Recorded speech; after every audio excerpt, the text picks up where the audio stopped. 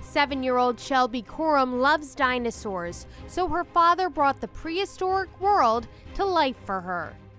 Lyle is a stagehand, and using projectors, screens, and lighting, he transformed the outside of their Las Vegas home into a real Jurassic Park. From room to room, Shelby went on a dinosaur safari.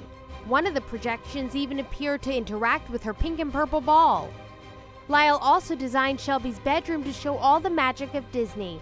There's a castle and even a fiber optic firework display on the ceiling.